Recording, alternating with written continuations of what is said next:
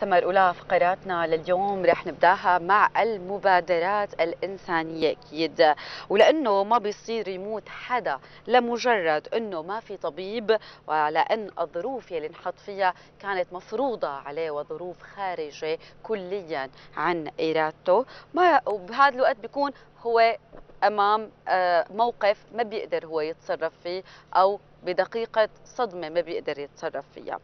أطلقت ميدوز المنصة الطبية السورية خطوط الاستجابة الطارئة خلال أزمة الحرائق يلي صارت من الفترة الماضية وما زال الدعم مستمر. أكيد لنتعرف أكثر على دور أيضا قدموا أطباء المنصة بسرنا نرحب بالدكتور أحمد محمد مؤسس المنصة الصحية والدكتورة رهف سليمان طالبه طب وأيضا من مؤسسي المنصة لمنصة الصحة السورية. يسعد صباحكم وأهلا وسهلا فيكم. صباح الفل يا هلا. يسعد صباحكم وأهلا وسهلا فيكم. فيك. بالبداية دكتور خلينا نتعرف أكثر على دوركم أثناء الحرائق. شو كان؟ هلا وقت بلشت الحرائق من عدة أيام هي كان حدث طارئ. فكان بيستوجب هذا الحدث الطارئ استجابة طارئة بتماثله بالسرعة ويفترض كانت تماثله بالشدة. كان كبير فكان يفترض آه، نعمل شيء مثل ما تمنينا يكون كبير. الحمد لله صار. آه نحن وقت بلشت الحرائق آه أخذنا على عاتقنا نلاقي حل ضمن حدود قدراتنا.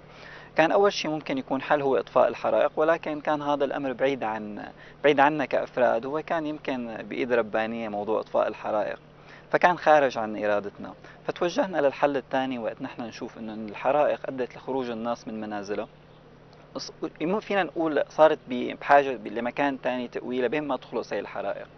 بهي اللحظة آه، أخذنا قرار بأنه نعمل تشبيك كبير ما بين الناس اللي طلعت من بيوتها وبين الناس يلي قادرة تقدم مكان سكن لهدول الناس. آه، أطلقنا فورا استجابة طارئة طلبنا من كل السوريين بكل الموجودين بكل المحافظات المستعدين على أنه يقدموا منزل يقدموا غرفة يخبرونا بمكان سكنهم قد هن قادرين على استيعاب أعداد. آه هدول الأعداد صارت توصلنا نعملها بيانات. بنفس الوقت خصصنا أرقام للناس اللي كانت مضطرة أنها تطلع من بيوتها لمكان ثاني فصرنا نعمل تشبيك ما بين الطرف الأول اللي هن قدموا بيوت وبين الناس اللي طلعت وصارت بحاجة منزل يأويها آه، بنفس الوقت آه، الحمد لله رب العالمين لقينا عدد كبير كان من الناس وفعلا كانت استجابة.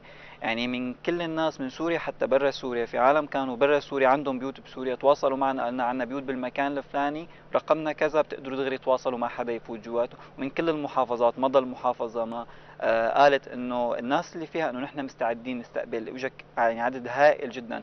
ناس قالت إنه أنا عندي شاليه بتقدروا تأخذوها ناس قالت عندي بيت. أحيانا في ناس قالت إنه أنا أنا طالب قاعد بغرفة بقدر استقبل طالب ثاني معي. فهو كان موضوع إنساني وفعلا كانت الاستجابة آه، بصراحة كانت مشرفة من الناس. يعني وهذا الشيء تعودناه من شعبنا دائما. آه، النقطة الثانية اللي صارت آه، بنفس الوقت هي كانت أحداث متسارعة وخاطفة وفعلا كانت بحاجة ل أحداث بتشابهها كمان تكون كتير سريعة لحتى نقدر نلاقي حل لهدول الأمور. الشيء الثاني اللي صار هو كان في ناس عالقين بالحرايق وكان مضطر حدا يطلعون بس آه، هنم ما بيعرفوا لوين يتوجهوا. يمكن كل شخص فيهم بيعرف سيارة برا المحافظة ما أكثر من هيك. نحن فورا أطلقنا خطوط ساخنة لهذا الموضوع آه، خطوط إخلاء. هذا خط الإخلاء الحمد لله يعني خلال ساعات وصل لأكثر من مليون شخص. أي شخص كان عالق جوا هي المناطق كان يتواصل معنا. بنفس الوقت نحن أطلقنا مرة ثانية استجابة للأشخاص اللي عندهم وسائط نقل موتور سيارة ايا يكن قادر يتحرك فيها. كمان يتواصل معنا. عملنا data من هدول الأشخاص كانت data سريعة جدا يعني لأنه الموضوع كان كثير سريع. آه فرجعنا عملنا تشبيك بين كل شخص آه حابب يت... بده يطلع من مكانه أو كان عالق وبين شخص ثاني عنده سيارة يروح يخليه من المنطقة. والحمد لله رب العالمين بين 300 ل 400 شخص طلعناهم من هدول المناطق. انضاف لهذا الأمر خلال ساعات إنه بلشت تظهر آه، وفيات بالإضافة لحالات اختناق من إثر الاحتراق. وكثير من الناس بهديك اللحظة آه، هي ما عندها قدرة تتصرف صح آه، لأنه بصراحة هو بحاجة إسعاف طبي ومو كل الناس عندها هي هي المعلومة الطبية اللي ممكن تكون بدها خبرة. نحن قلنا نفس بداية الفريق بلش نحن فريقنا بحادثة إنسانية من حدا مات لأنه ما كان في طبيب ينصحه. ورجع تكرر الموقف بعد ثلاث سنين بنفس هي الحادثة. فنحن فورا أطلقنا كمان خطوط استجابة طارئة. الأشخاص يلي كانوا آه، مجموعة من فريق من الأطباء يلي كانوا جاهزين يستقبلوا أي استفسار من أي حدا بأي منطقة بالإضافة لمسعفين أوليين يطلعوا لهذيك المنطقة في حال ارتأى الأطباء أنه هن بحاجة إسعاف. بالإضافة شبكناهم مع السيارات يلي كنا أولريدي أخذين آه، بياناتها مشان نقلهم للمشفى في حال احتاج الأمر. وهيك استمر من أول الحرائق حتى يوم أعلنت الحكومة أنه انتهت الحرائق. كثير يعني نحن أيضا متعودين على أخلاق السوريين العالية والهمم يعني بكافة الظروف اللي نحن عشناها سواء كانت حرب أو حاليا الظروف الخارجة عن الإرادة أو ممكن تكون أيضا مفتعلة. ولكن دائما نحن كسوريين في لهفة على بعض. وأيضا مثل مبادراتكم أيضا مشكورة جدا يعني خاصة بإسعاف هذا العمل الإنساني لا يقدر بثمن. رح نرجع ل حضرتك دكتورة رهف ولنحكي أكثر عن الفريق المتكامل اللي كان على آه، أتم استعداد للخروج للإسعافات الأولية. مثل ما بنعرف آه، في يعني في شروط معينة للإسعافات. مثل ما حكى الدكتور ما ممكن اللي بيعرفها أو بيتصرفها بالمنزل مثلا في حال الحرائق. قص الملابس مو خلع الملابس في شغلات ثانية لازم تصير وخاصة الأطفال يعني موجودين والأطفال أكثر آه، يعني خلينا نقول آه، تعرض كونه الاختناق عندهم سريع. خلينا نحكي على الآلية اللي اشتغلتوا فيها. هلا آه، من قبل موضوع الحرائق في بالفريق آه، قسم استجابة سريعة من التواصل عبر الفيسبوك أو منصاتنا بشكل آه، بشكل تلقائي ودائم يعني. بصراحة كان زاد الاستعداد بفترة الحرائق وكان على 24 ساعة نحن جاهزين لاستقبال أسئلة الناس إنه كيف شو الخطوة اللي لازم ساويها لأنه هي فعلا خطوة واحدة لتنقذ روح يعني. خطوة واحدة مثلا أثناء الاختناق إنه أنا مثلا خليه يكون مو بمكان عالي إني سكر المكان اللي عم يدخل منه الدخان أو إني أحط له قماشة عليها مي لحتى خليه يرجع ياخذ نفس. يعني هي خطوة واحدة بس يمكن بوقتها في ناس ما عندها إدراك إلها أو إنه ناس يعني بالسرعة ما بتقدر آه، تساويها. فالفكرة كانت إنه هن يتواصلوا معنا. نحن نعطي هي الإسعافات الأولية. بالبداية يمكن كان خطوط الفريق الموجودة أصلا هي كافية. بعدين مع اشتداد الحرائق وازدياد الحالات وفعلا يعني كان عم توصل اتصالات كثير آه، مؤثرة وإنه بتحسي إنه لازم يكون في شيء أكثر من هيك. أطلق الفريق مثل ما حكى الدكتور أحمد خمس خطوط ساخنة على مدى 24 ساعة كانت موجودة. آه، أي حدا يتصل أطباء من آه، لنعطي الإسعاف الاولي اللي بيقدر الشخص يقوم فيه وإذا ما قدر آه، في حدا يروح لعنده ياخذ معه الإسعاف الأولي. طبعا توزعتوا على المحافظات أكيد. في أصلا أعضاء للفريق متوزعين طبعا. بالمحافظات وكان في متطوعين مشكورين كثير هن اللي نقلوهم بالسيارات مثلا هن في منهم قاموا بالإسعاف الأولي المطلوب ضمن البيت يعني ما بنقدر نخلي الشخص يساويه بده أشخاص مختصين. وإذا كان كمان العمل بيتطلب إنه نحن ننقله على مشفى أو على مركز صحي كان في سيارات آه، متواجدة لهذا الأمر. أكيد. حنبقى بهذا الموضوع. خلينا نحكي عن الإسعاف. يعني كثير من الأشخاص اتصلوا فيكم وكثير أنا كنت عم تابعكم فاكثر حالة أثرت فيني الطفل حمزة وقت اتصل فيكم وهو خايف وعم بيقول لكم إنه إنه بده إسعاف أبوه رايح يطفي الحرايق بالإضافة إلى أمه عم تختنق وهي حامل. أه وقدرتوا أنتم تعطوه تعليمات بسيطة إنه يحط البشكيره فيها مي على وش أمه وعلى وشه لبما أنتم تتواصلوا الحمد لله يعني طلع آه، حمزة وعائلته بخير وصحة بسببكم كمان بجهودكم خلينا نحكي أنا هي الحالة مثلا أنا كسورية كثير أثرت فيني. خلينا نحكي عن حالة أثرت فيك دكتور عن اتصال طارئ صار معكم. خلينا نحكي عن هذا الموضوع. آه، هلا آه، أنا بالنسبة لي كنت آه، الخط اللي كنت أنا مستلمه هو كان خط المساعدات الإنسانية. تمام. اللي هو كان بيشمل بداية كان المنازل بعدين كان بيشمل التبرعات. لهدول الأشخاص متضررين تمام. من الحرائق. لأنه هي المرحلة الأهم هي مو مرحلة الحريق هي المرحلة اللي بتيجي بعدها كيف بدنا نساعد الناس ليتجاوزوا الأزمة اللي بعدها. وقتها إجانا التواصل كان على الواتساب نحن الرقم مخصصينه.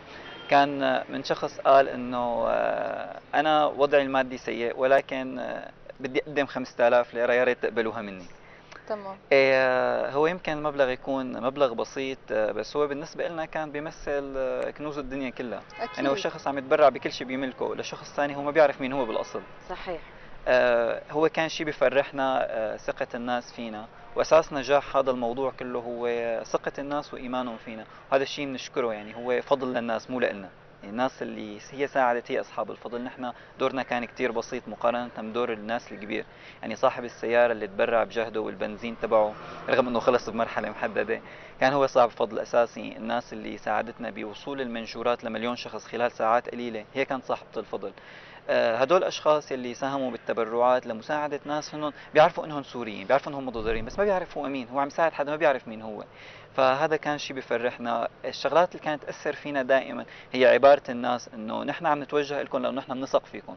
تمام. آه هذا الشيء كان يأثر فينا بصراحة. آه فكرة ثقة الناس فيك هو الشيء بيعطيكي دافع دائما وبيحملك مسؤولية كبيرة. أكيد. أكيد دكتور يعني يمكن آه، كلام كان مؤثر وخاصة من أشخاص يعني عم تعطي آه، كل شيء بتملكه. يمكن مساعدة صغيرة يمكن لقيتوها قد الدنيا وأكيد آه، هي موقف جدا مؤثر لأشخاص. وضعهم المادي سيء ومع هذا الشيء هن بيعطوا هدول الأشخاص يعني آه هيدي الأخلاق يلي نحن فينا نحكي على الأخلاق العالية اللي فينا نحكي عنها. دكتور واكيد الجهود هي متضافرة ومتكاملة بينكم وبين العالم. لا يقل أكيد الجهود. لا تقل جهودكم عن آه، جهودهم ولكن كملتوا بعض. رهف احكي لنا عن الفريق بشكل عام. كيف كان الحماس للإنقاذ؟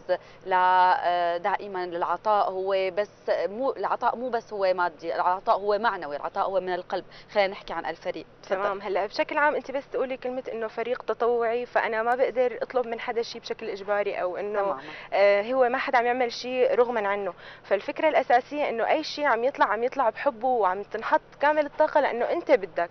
هاي بالحالة الطبيعية بدون ما يكون في مثلا كوارث أو حرائق فبهذا الظرف كان لسه الاستجابة الإنسانية أعلى بكثير أه توزع بصراحة الفريق ما ما وفر جهد ابدا اللي كان الكتروني وإن كان آه، لوجستي وإن كان المتطوعين اللي تعاونوا معنا. أه يعني ما بعرف كيف بدي أوصف. هي يعني كان حرفيا ثلاث أيام من الشغل المتواصل 24 ساعة آه عم نتواصل مع الناس والناس عم تتواصل معنا لنقدر نأمن التبرعات ونوصل المساعدة لأكبر عدد ممكن. آه ما بقدر أسمي حدا أو ما بقدر استثني حدا من هذا الجهد لأنه كان كل الفريق مثل خلية النحل عم يشتغل بهي الفترة حرفيا أكيد. يعني. آه بس. أكيد. أنتم من فريق بلشتوا من الصفر بعدين صرتوا منصة طبية سورية وبأول الكوارث أنتم أول الموجودين دائما وأول المتواجدين. خلينا نحكي حكينا عن الحرايق وشو عملتوا إنجازات كثير كبيرة وقد ما حكينا وتشكرناكم حيكون شيء قليل. خلينا نحكي عن قصتكم مع الكورونا عن الحملة الكبيرة كمان اللي عملتوها وكيف كان تفاعلكم مع العالم تفاعل العالم معكم. هلا بداية شكرا. يعني نحن دائما جهدنا هو بضل جهد صغير قدام قدام جهودكم وجهود المجتمع اللي هو العنصر الأساسي بنجاحنا دائما. نحن داعمنا الأول والوحيد هو محبة الناس لنا فقط لا غير. لولا هي القصة نحن ما بنقدر نعمل شيء. آه، بما يخص كورونا كورونا هو كان حدث مستجد عندنا بسوريا. آه، مثل باقي دول العالم فكان يفترض يكون في استجابة خاصة له آه، هلأ منصتنا بشكل عام جوا سوريا و آه، بشفافية. آه، هي المنصة رح أقول هي من المنصات الأولى يلي مهتمة بالشأن الطبي وبشكل دقيق وقريب من الناس. يعني نحن وقت بلشنا نحكي عن كورونا والواقع موجود يعني. آه، كانوا الناس لساتهم ما سمعانين فيه غير بالصين. وقتها بلشنا نرصد المقالات. نحن جوا الفريق في عنا حوالي 40 خلية. في خلية منه اسمها خلية الرصد يلي هي بتجمع الأخبار الطبية من كل مواقع الطبية بالعالم الموثوقة الأجنبية تمام؟ وبالترجمة للصيغة العربية طبعا بتمر بعدة مراحل بين الترجمة والتدقيق وبعدين تحويلها للغة البسيطة اللي بتوصل للناس. لأنه كلنا بنحب آه، نقرأ شيء بسيط آه، شيء بلغتنا. أي مقال طويل إذا كان بالفصحى وكذا بشكل شفاف إنه نحن ما بنقرأ. فكنا قريبين من الناس بهذا الموضوع. رصدنا بداية كورونا حكينا عنه قبل ما يوصل لسوريا بزمان. آه، أول ما صار هو محيط بالدول المحيطة فينا نزلنا كتاب عن كورونا. كان هو أول كتاب طبي سوري بيحوي على مئات الأسئلة والأجوبة تبع مئات أسئلة الناس اللي هي إنه شو هو كورونا؟ هو فيروس؟ هو جرثوم؟ كيف بيتعالج؟ من وين إجا؟ كيف ممكن يروح؟ بيعمل إلى آخره من هدول الأسئلة. آه كان أول كتاب طبي سوري الحمد لله نزل عليه حوالي نص مليون تحميل. ونص مليون تحميل للكتاب هو بيعني لنا نص مليون عائلة وسط المعلومة الموثوقة الصحيحة. طبعا كان الكتاب يحوي على الأسئلة بالعربي مع الأجوبة بالعربي مع المصدر المأخوذ منه السؤال والجواب لأنه إحنا يعني آه، ما عندنا قدره نبت بصحة شيء آه، معمول بدراسات كبيرة بأماكن ثانية كان شغلة الكتاب أول شيء. بعدين آه، مع بداية الحجر نحن أطلقنا مركز للخطوط الساخنة كمان كمان للكورونا. هو كان أول مركز بسوريا حتى أطلقناه قبل وزارة الصحة بصراحة. أنتم هدفكم أطباء من أجل الجميع. خلينا نحكي كمان عن هدفكم. هلا أطباء من أجل الجميع هو اسم المؤسسة تمام. اللي عم نرخصها هلا. تمام. كشفتينا. يعني حلو كثير دكتور. آه يعني دائما نحن متعودين على هيدي المبادرات ولكن يمكن حكيت نقطة مهمة إنه نزلتوا حضرتكم كتاب طبي بيحوي معلومات طبية قبل لسه ما العالم ما ينتشر لسه عنا الفيروس ولاقى رواج. إن شاء الله يا رب هيك نتمنى لكم التوفيق بباقي أموركم. بدي أرجع لعندك رهف حابة تضيفي شيء حابة تقولي شيء قبل الختام؟ للختام بصراحة إذا بدي أتشكر حدا بدي أتشكر جهد الفريق الكبير بهي الفترة وسابقا يعني. آه، ما عم يوفروا جهد هن ناس عم يعطوا بحب كبير. آه، محبتهم هن ومحبة الناس إلنا وثقتهم فينا هي اللي عم تخلي الفريق يكبر كل يوم. آه، بدي أتشكر كمان كل الناس اللي عم تكون واثقة فينا واثقة بالمعلومة اللي عم تنزلها. حتى السؤال اللي عم تطرحه علينا وقت عم نجاوبه وعم تفوت هي المعلومة على البيت هو شيء كتير بيسعدنا. أه بدي أتشكر حضرتكم على هي الاستضافة واللفته الحلوة منكم. آه، أهلا وسهلا فيكم. أكيد يعني نورتوا صباحنا لليوم وأكيد بدي أرجع لك بالختام. لمين بتحب توجه تحية؟ آه، لمين بتحب كمان توجه كلمات لشبابنا السوري اللي عن جد نحن عم نشوف حالنا فيه؟ للمتطوعين اللي من قلبهم عم يجوا لو على الكوارث بتلاقيهم يعني أول الموجودين شبابنا السوري. شو بتحب توجه لهم؟ هلأ شبابنا السوري هو شباب مظلوم بصراحه تمام. آه، عم يعاني آه، دون أن يتلقى أي مكافآت. يعني هو عم يقدم دائما جهده عم يقدم آه، شيء أكبر من جهده عم يقدم أحلامه صحيح. بهذا البلد عم يضحي بأحلامه. في سبيل كل شيء بيخدم حدا غيره إذا بيعرفه أو لا. فأنا بشكر المجتمع كاملا بشكر المجتمع كاملا على صبره وصموده بهي الأوضاع اللي صارت. ما أتوقع إنه حدا بالكون ممكن يتحملها المجتمع كاملا. وبشكر كل حدا يعني عم يوثق فينا. كفريق لأنه أنا من واجبي احكي على الفريق. أه بشكر كل الناس اللي بتثق فينا بشكر الناس اللي بتحبنا يلي آه، بتسعى تساعدنا دائما لنعمل شغلات جديدة ونطور بطريقة خدمة المجتمع. وبالنهاية أكيد أنا بشكر الفريق اللي هو من ثلاث سنين لحد اليوم آه عم يشتغل بدون أي مقابل بدون كلال أو بدون ملال مستعد يسمع توجيهات وأوامر أحيانا بتكون صارمة. آه هو ما مضطر يسمعها عم يسمعها لأنه هو بيحب الشيء اللي عم يعمله. وشكرا لكم أكيد. نحن بدورنا أيضا كإعلام واجبنا نضوي وأيضا من ضمن صوتنا لصوتكم وبدنا نقول إنه نحن آه، قلبا وقالبا مع هدول الشباب حاسين فيهم لأنه نحن منا منا يعني مننا وفينا هن بالنهاية. وأنتم كأطباء مشكورين مشكورين على آه، كافة الأصعدة مو بس بوقت الحرائق وأيضا بالأيام السابقة. نحن بنتمنى أيضا نشوف مبادرات ثانية بظروف جميلة تكون توعية أكثر من آه، خلينا نقول كوارث. شكرا كثير لكم. شكرا أكيد شكرا كثير لوجودكم معنا ونتمنى لكم كل التوفيق والنجاح أكثر وإن شاء الله هيك نحن بنكبر فيكم أكثر وأكثر. شكرا لكم لجهودكم الكبيرة.